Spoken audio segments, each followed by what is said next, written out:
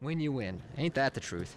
Back to the felt we go. Sean Perry now with a decent hand. 120. Ace 10 of spades, and he will make it 120 to go. It's an unusually strong hand for Sean to be raising with. Meanwhile, AJ in the big blind has got the seven deuce of clubs, and he's going to take a flop. All right, AJ with just a seven deuce. Gonna splash around, and let's see what happens. Jack 9, 8, two of them clubs. What a flop for both players. I believe I'm the best player at the table because the type of play I enforce with my aggressive style when I have chips is very, very powerful. Regardless of skill level, I'm just in this best situation, I think, to win this event. Certainly not lacking in confidence, Sean Perry with the open-ended straight draw here. 220.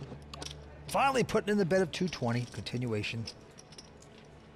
And AJ getting involved with the seven deuce, but now it's looking strong. You got the four flush and a straight draw, You can see he has so many outs, he's actually the favorite in this hand at 54%. but just gonna call it going to the turn. Can he catch his club and hurt the chip leader? No, he pairs the board. Hmm. That is not AJ's card, but it is one he can represent a little more plausibly than Sean. Typically, Sean's going to check behind when he has bottom pair, although I would say of everyone at this table, he is the most likely to just bet the flop when he has a weak pair. He's going to double barrel here, though, with his draw for half a million. AJ, thinking about this one. Doesn't slow down, and now AJ would like to draw to this flush and the straight.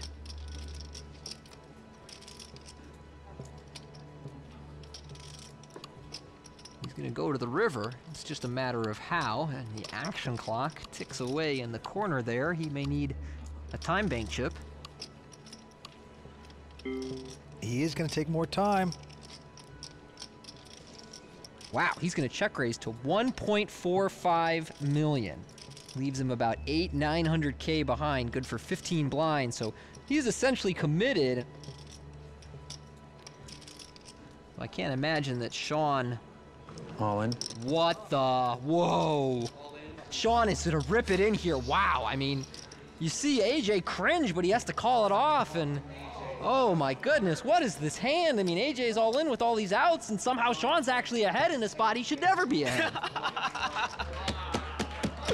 This is amazing. Let's do this again. How lucky is Sean to get his money in ahead? Value betting. And that's what Ryan is celebrating. He thinks this is so funny. Ryan loving this. People are confused. The audience. Look at their faces. The dog is so confused. What is happening? AJ wants to hit that card. Can he hit the club or 10? Let's see if he does it. And doubles up. It's an eight. The ace 10 is going to hold up. And Sean scores the elimination of AJ in a crazy hand. AJ Chopper out in fifth place to take home 350,000, Tony.